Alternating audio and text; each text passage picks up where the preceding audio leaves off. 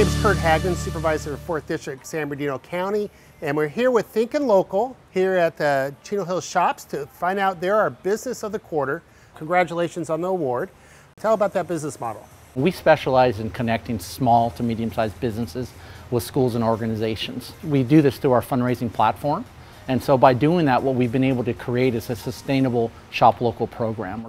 And it's a way for the small business to give back to a charity or cause they like in the community too.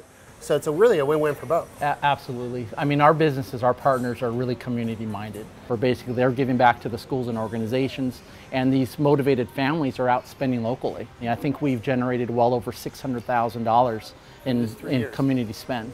Local businesses we've found over the years of doing this want to help the community. They want to connect with each other.